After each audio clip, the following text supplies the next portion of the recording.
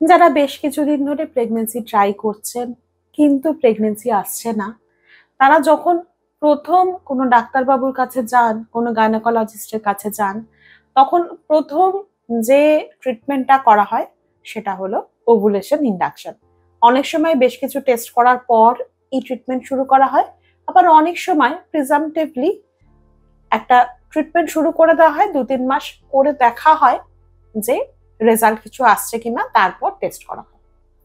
যে পদ্ধতিতে এই ব্যাপারটা হয়, যে প্রসেসটা আমরা সাধারণত অবলম্বন করে থাকি, সেই প্রসেসটার নাম হচ্ছে ওভুলেশন ইন্ডাকশন আজকে আমি doctor Sutapa Sen gynaecologist and fertility specialist এই ওভুলেশন ইন্ডাকশন আর তার ঠিক পরেই আমরা যেটা করি সেটা হচ্ছে ফলিকুলার মনিটরিং এই দুটো নিয়ে একটু বলব। প্রথম যেটা বলব সেটা হচ্ছে ওভুলেশন ইন্ডাকশন কাকে বলে, কেন করা হয় কত দিন লাগে ফলিকুলার মনিটরিং কেন প্রয়োজন, কীভাবে করা হয়, তাতে আর কি কি সাপ্লিমেন্ট আমরা সাধারণত দিয়ে থাকি, এই প্রসেসটার সাকসেস রেট কি টিউব টেস্ট এটার আগে করা হয়, না পরে করা হয়, আর অবশ্যই যদি এটা ফেল হয় তাহলে পরবর্তী ক্ষেত্রে কি করা হয় সেটা বলব। সবকিছুর উত্তর পেতে গেলে পুরোটা আপনাকে মন দিয়ে শুনতে হবে। ওভুলেশন ইন্ডাকশন নিয়ে কিছু বলার আগে যেটা আমি বলতে চাইব, সেটা হচ্ছে একটা সাধারণ ঋতুচক্রে কি ঘটে, সেটা যদি আপনি না জানেন, তাহলে আমার পক্ষে বোঝানো মুশকিল হবে। তো এইটা হচ্ছে জরায়ু বা ইউটেরাস। এই দুদিকে যেটা হাতের মতো আছে, এটা হচ্ছে ফ্যালোপিয়ান টিউব।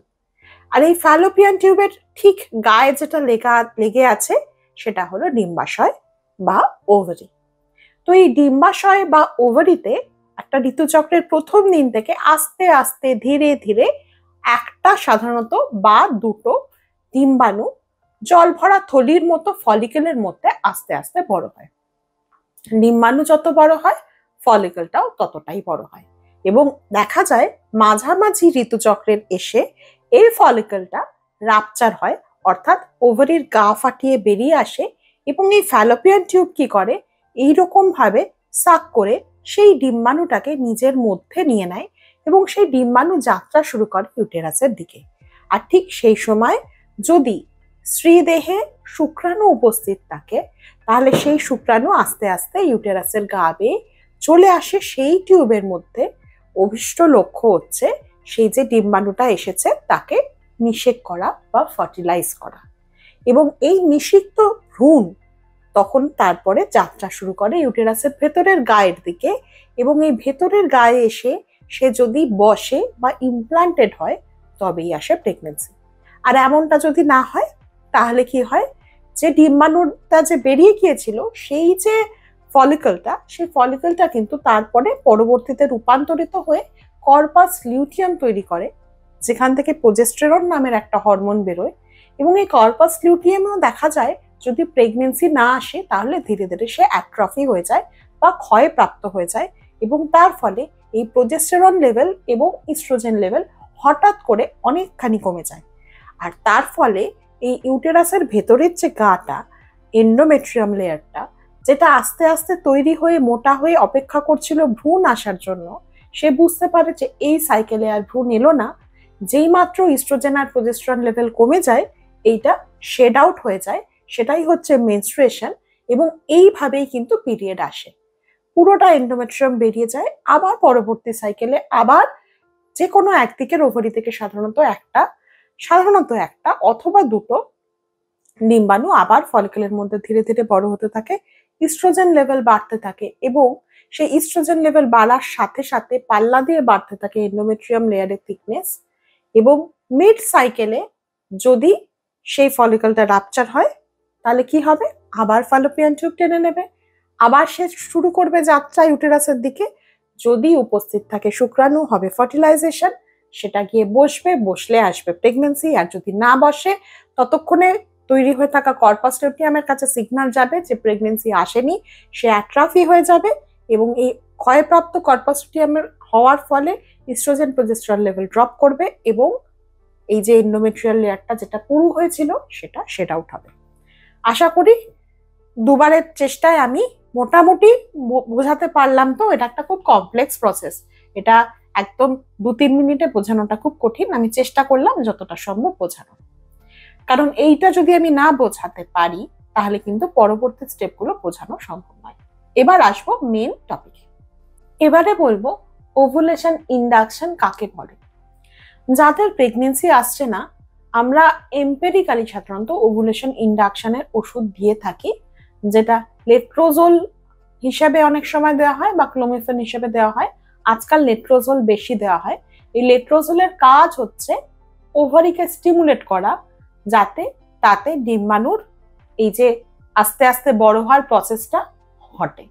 তো এই প্রসেসটাকে আমরা বলি ওভুলেশন ইন্ডাকশন এবার এই ওভুলেশন ইন্ডাকশনটা আমরা ডিম্বাণুটা বড় হচ্ছে সেটা মনিটর না করেও করতে পারি, আবার মনিটর করেও করতে পারি।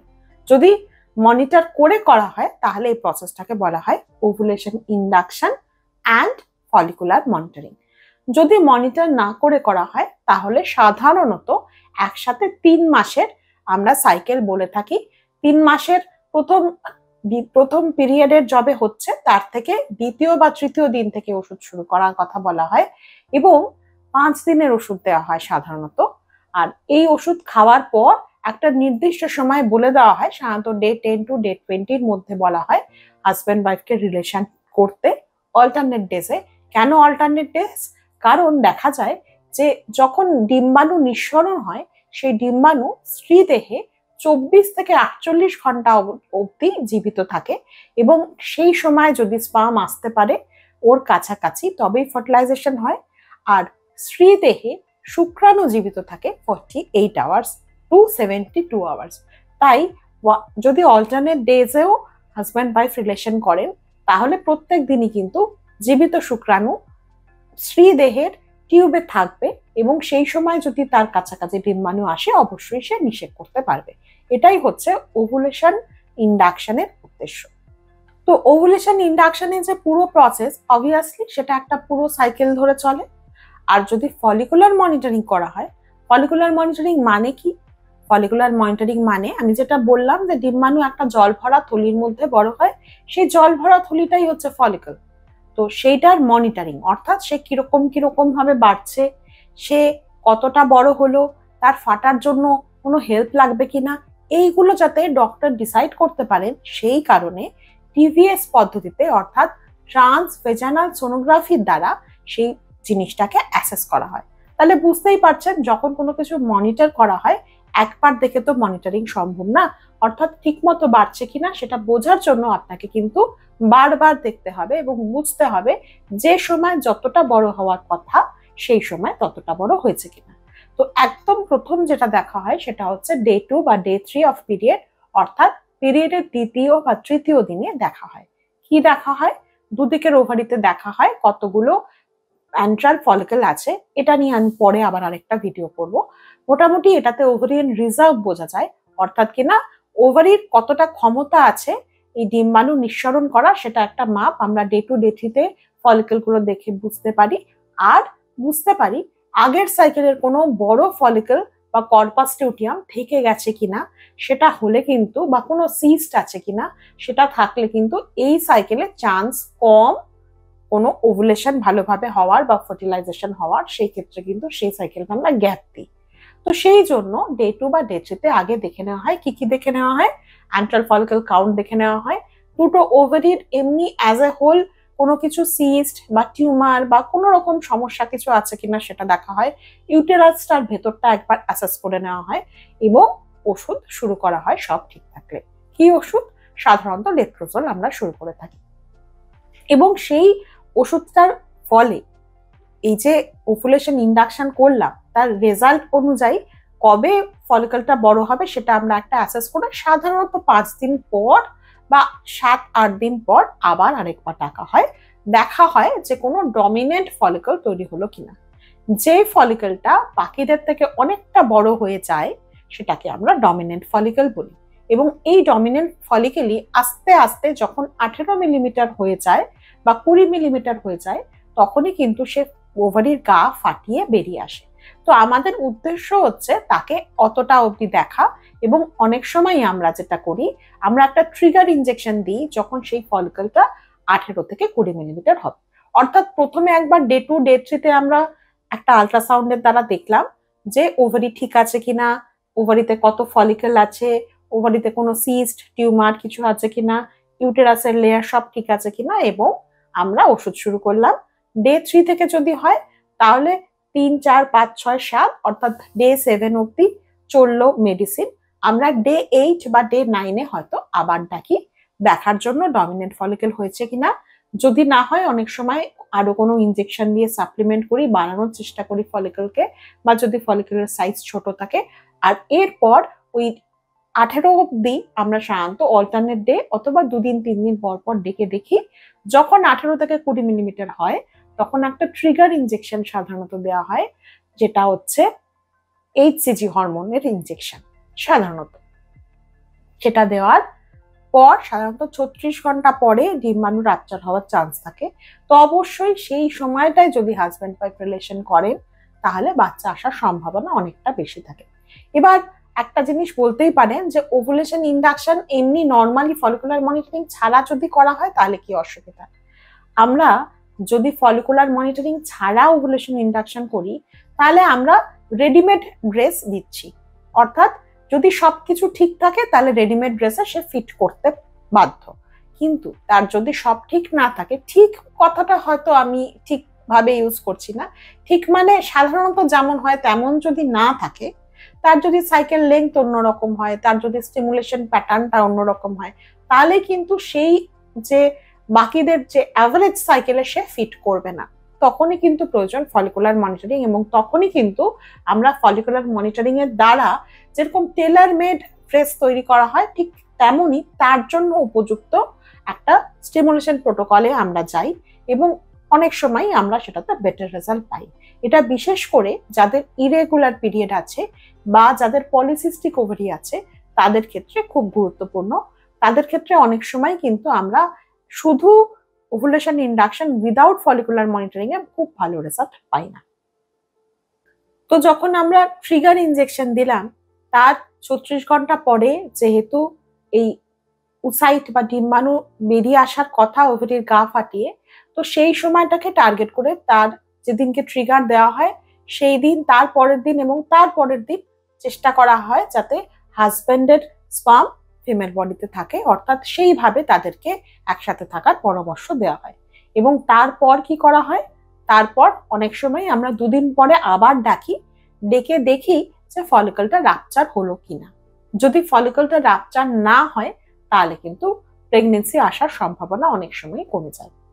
অর্থাৎ ডিম্বাণু যদি রিলিজটি হলো না, ডিম্বাণু যদি সেই ফ্যালোপিয়ান টিউবের মধ্যে নাই গেল তাহলে তো আর স্পার্ম তাকে পাচ্ছে না ফার্টিলাইজ করার জন্য প্রেগনেন্সি কি করে আসবে? আর যদি দেখা যায় যে রাপচার হয়েছে, তাহলে অনেক সময় আমরা প্রোজেস্টরন হরমোন ট্যাবলেট দিই, যাতে যদি ইমপ্লান্টেশন হয়, সে প্রপার সাপোর্ট পায়। আর তারপর সাধারণত ওই জবে ওভুলেশন হচ্ছে আমরা ধরে, আমরা মোটামুটি বুঝতে পারছি, তার চোদ্দ দিন পর টেস্ট করতে বলা হয় বা পিরিয়ড যে ডেটটা ছিল, সেই ডেটটা মিস হলে প্রেগনেন্সি টেস্ট করতে বলা হয়। যদি পজিটিভ হয়, তাহলে তো খুব ভালো। আর যদি নেগেটিভ হয়, তাহলে অপেক্ষা করতে বলা হয় পিরিয়ড আসার জন্য। পিরিয়ড এলে আবার ডে টু ডেটিতে ডেকে নেওয়া হয় এবং শুরু করা হয় পরবর্তী সাইকেল এরকম সাইকেল কবার করা যায়। এরকম সাইকেল আমরা তিন থেকে ছবার করে থাকতে পারি। কিন্তু এটা অবশ্যই ডিপেন্ড করছে যে হাজব্যান্ড এবং যে ওয়াইফ তাদের বাকি সব প্যারামিটার্স এর উপর। তাদের ওভারিয়ান রিজার্ভ কত? তাদের বয়স কত, তারা কতদিন ধরে ট্রাই করছেন, তাদের সিমেন হাজব্যান্ডের সিমেনের প্যারামিটার্সগুলো কীরকম, এই সব কিছু নিয়ে আমরা কিন্তু বিচার করি। অবভিয়াসলি তার সাথে আরেকটা খুব ইম্পর্টেন্ট ব্যাপার হচ্ছে টিউবাল পেটেন্সি টিউবাল পেটেন্সি কি এই প্রসেসের আগে করা উচিত না পরে করা উচিত? যদি অনেক দিনের ইনফার্টিলিটি হয়, যদি বহুদিন ধরে হাজব্যান্ড ওয়াইফ চেষ্টা করছেন কিন্তু আসছে না এরকম হয়, তাহলে অনেক সময় আমরা আগে টিউব পেটেন্সি টেস্ট করে নিই। কারণ দেখা যায় তারা হয়তো আগে অলরেডি ওভুলেশন ইন্ডাকশন বেশ কয়েকবার করেছেন, কিন্তু স্টিল আসছে না। তো টিউব পেটেন্সি টেস্ট করে এই জন্য করা হয় যাতে টিউবে যদি পেটেন্সি না থাকে, দুটো দিকই যদি ব্লক থাকে, তাহলে তো এই পুরো ট্রিটমেন্টটা যদি আমরা করিও, সেটা বিফলে যাবে। সেটা বোঝার জন্য আমরা টিউব পেটেন্সি টেস্ট আগে করে নিই। আর যারা খুব বেশি দিন ট্রাই করছেন না, তাদের ক্ষেত্রে অনেক সময় আমরা একটা দুটো সাইকেল এমনিও উইদাউট টিউবাল পেটেন্সি করে থাকতে পারি। বিশেষ করে যারা টিউবাল পেটেন্সি টেস্ট করতে একটু ভয় পান, তাদের ক্ষেত্রে আমরা টিউব পেটেন্সি টেস্ট না করেও একটা দুটো সাইকেল করে দেখে নিতে পারি যে কনসিভ হচ্ছে কিনা বা ঠিক মতো রাপচার হচ্ছে কিনা বা কোথাও কোনো অসুবিধা আছে কিনা। তবে হ্যাঁ টিউব পেটেন্সি টেস্ট যদি করা থাকে, আমরা অনেক শিওর থাকি যে রাপচার যদি হয়, তাহলে স্পাম আর উসাইটের কাছাকাছি আসার সম্ভাবনা অনেক বেশি থাকে। এই প্রসেসটার সাকসেস রেট কত? দেখুন, সাধারণত তারাই আসেন এই প্রসেসে যারা বেশ কিছুদিন ধরে বন্ধাত্মে ভুগছেন। এবার, যারা বেশ কিছুদিন ধরে ট্রাই করছেন কিন্তু বাচ্চা আসছে না, তাদের ক্ষেত্রে কিন্তু এই প্রসেসের সাকসেস রেট খুব বেশি না। কারণ আমরা তো জাস্ট নর্মাল যে প্রসেসটা সেটাকেই মিমিক করছি, খুব বেশি হেল্প কিন্তু করছি না। যেটা করছি জাস্ট মনিটরিং এবং যেটা করছি খুব মাইল্ড একটা স্টিমুলেশন দিচ্ছি এবং হাজব্যান্ড ওয়াইফকে নিজেদেরকেই রিলেশন করতে বলছি। তো সেই জন্য এটার সাকসেস রেট হচ্ছে টেন টু ফিফটিন পার্সেন্ট আর সেই কারণেই বছরের পর বছর, মাসের পর মাস এই ট্রিটমেন্ট করে কিন্তু লাভ হয় না। ম্যাক্সিমাম আমরা বলি ছবারের বেশি করে ovulation induction and follicular monitoring লাভ নেই। ম্যাক্সিমাম ক্ষেত্রে আমরা দেখি, যদি সাকসেস আসার হয়, তাহলে ফার্স্ট তিনটে সাইকেলের মধ্যেই আসে। যদি সেটা না আসে, তাহলে অবশ্যই আমাদের ভাবতে হবে, কেন এলো না? এবং পরবর্তী স্টেপে যেতে হবে, যাতে কনসিভ তিনি করতে পারেন, সেই কাপড় আশা করি পুরো ব্যাপারটা বোঝাতে পারলাম। আচ্ছা আরেকটা প্রশ্ন, সেটা হচ্ছে, যদি ফেল করে, তাহলে কি হবে? তো সেটাও মোটামুটি বলেই দিলাম, যদি ফেল করে তাহলে আমাদের বুঝতে হবে যে, বোঝার চেষ্টা করতে হবে যে, কি জায়গায়, কোন জায়গায় অসুবিধা থাকতে পারে। তার মধ্যে একটা হচ্ছে অবশ্যই যদি টিউবল পেটেন্সি টেস্ট না করা থাকে, তাহলে সেটা করতে হবে। যদি খুব কাছাকাছি টাইমের মধ্যে এমএইচ বা ওভারিয়ান রিজার্ভ অ্যাসেসমেন্ট না করা থাকে, যদি সিমেন অ্যানালিসিস না করা থাকে, যদি থাইরয়েড প্রোলাকটিন লেভেল টেস্ট না করা থাকে, তাহলে সেই টেস্টগুলো করে আমরা কারণ খোঁজার চেষ্টা করতে পারি। আর যদি কোনো কিছুতেই কোনো কারণ খুঁজে না পাওয়া যায়, তাহলে অবশ্যই কোনো ইনফার্টিলিটি স্পেশালিস্টের কাছে যোগাযোগ করে তার পরামর্শ নিয়ে পরবর্তী পদক্ষেপ ঠিক করা উচিত। ভালো থাকবেন, আর কিছু প্রশ্ন থাকলে অবশ্যই জানাবেন।